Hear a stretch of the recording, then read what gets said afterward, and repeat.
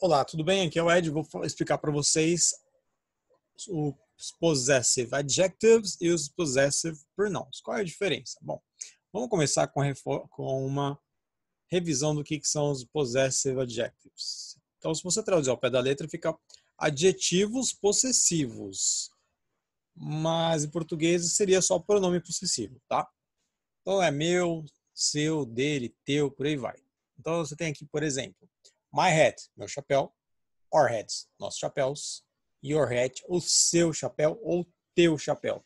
Depois eu vou colocar um vídeo muito importante para vocês, para vocês verem que seu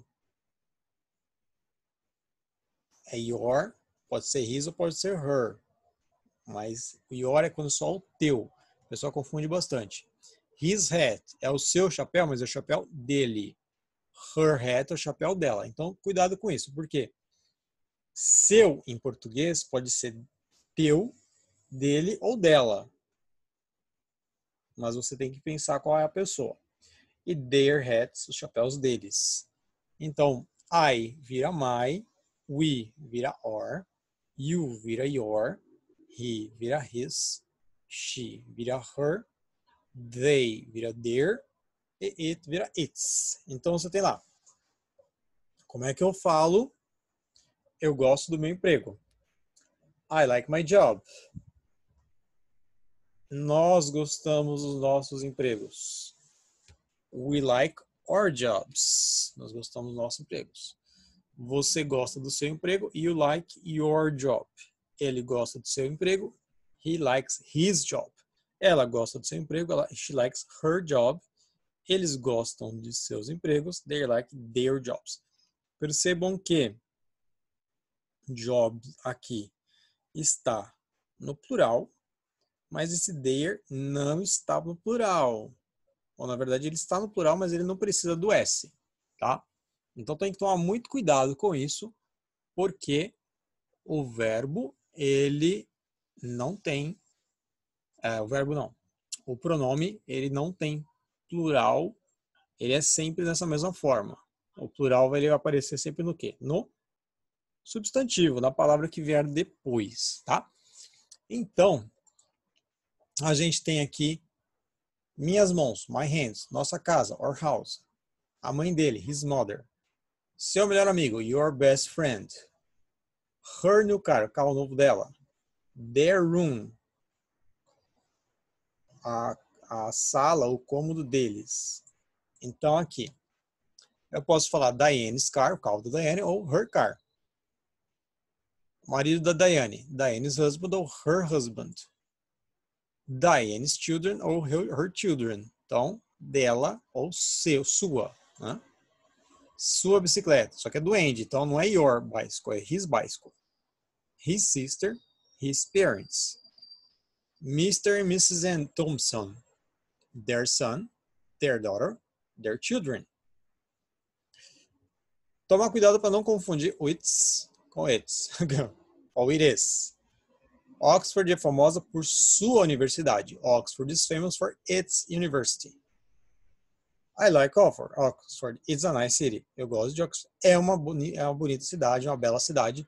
It's aqui. Então toma cuidado para não confundir os dois. Isso aqui vocês já viram antes, mas vale a pena vocês revisarem. Por quê? Porque às vezes nos exercícios a gente coloca, né? Eu vou lavar minhas mãos. I'm going to wash my hands. Ela vai lavar as mãos dela. She's going to wash her hands.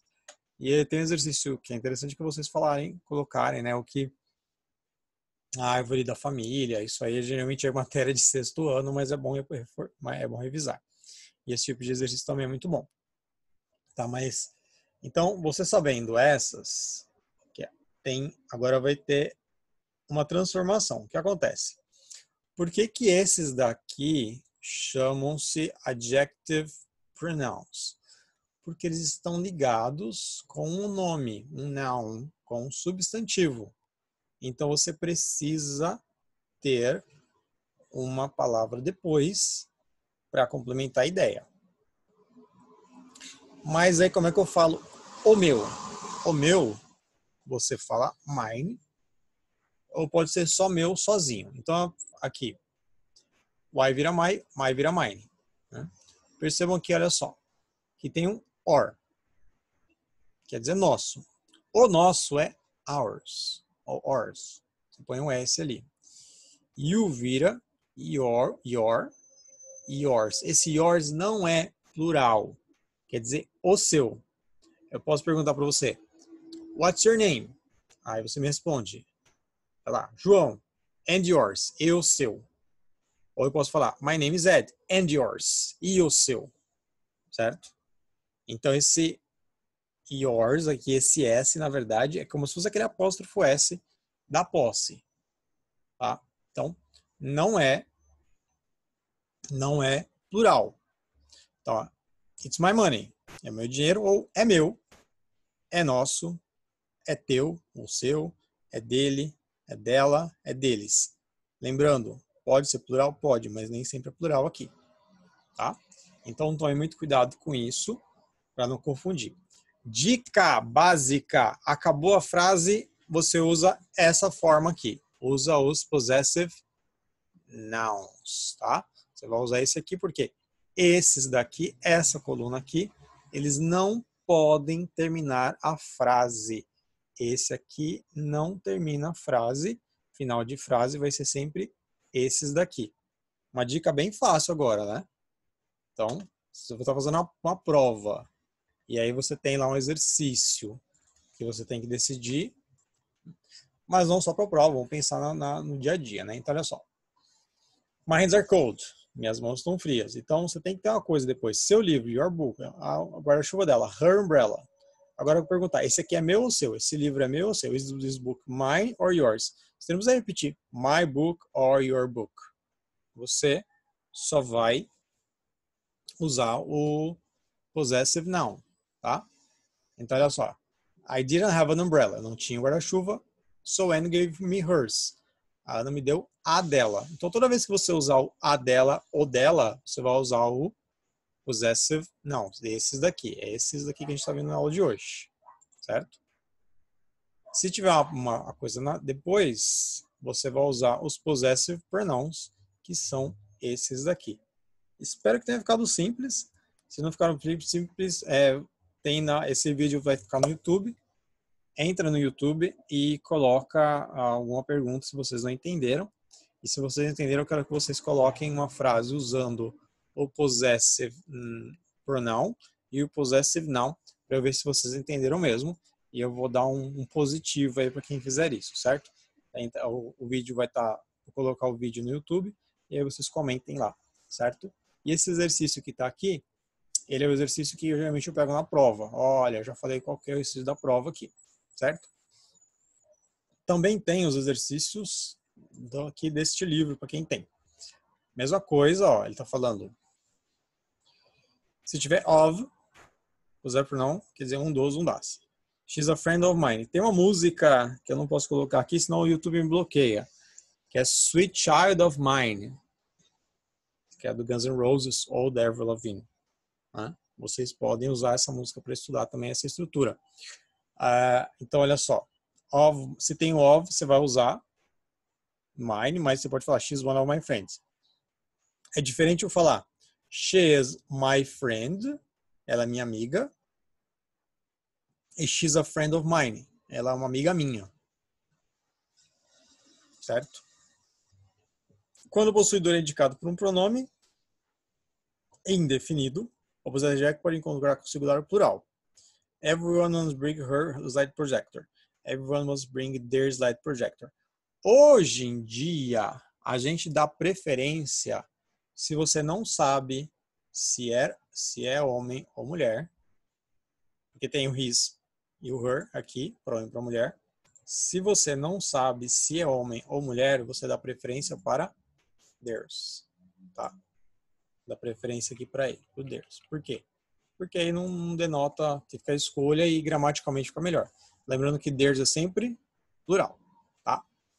Então é a melhor forma, aí você não cria mal entendido, você não, não, não entra em questões de gênero e todo esse tipo de coisa, tá?